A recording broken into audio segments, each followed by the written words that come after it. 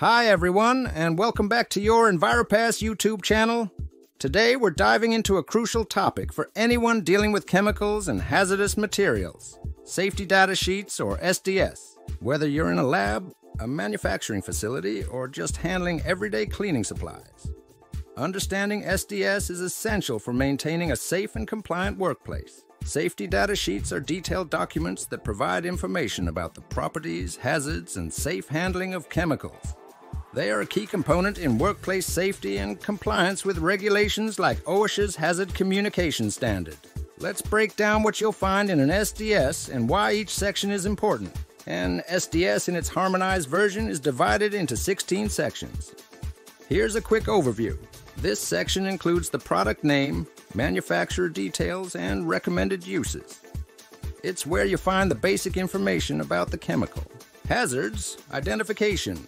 Here, you'll find details on the chemical's hazards, including its health risks and environmental impact. This section is crucial for understanding what precautions you need to take.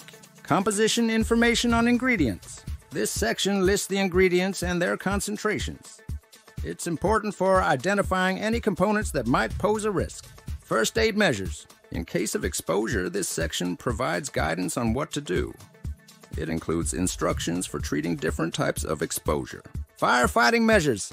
This section outlines the appropriate fire extinguishing methods and any special firefighting procedures. Accidental release measures. It details how to respond to spills or leaks, including containment and cleanup procedures.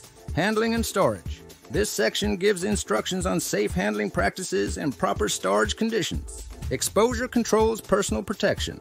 Here you'll find recommended personal protective equipment, PPE, and exposure limits. Physical and chemical properties. This section provides information on the chemical's physical characteristics like boiling point and solubility. Stability and reactivity. It details the chemical's stability and any potential reactions with other substances. Toxicological information. This section covers the health effects of exposure, including symptoms and long term effects. Ecological information. It describes the chemical's environmental impact, including its effects on wildlife and plants.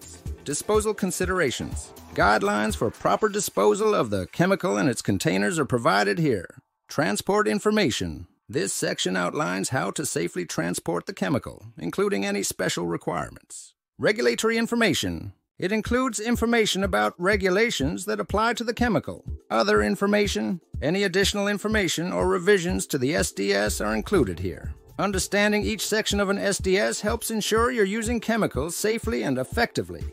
Remember, always read the SDS before using any chemical product and follow the safety instructions provided. Thanks for watching. If you found this video helpful, don't forget to like, share, and subscribe for more content on workplace safety and compliance.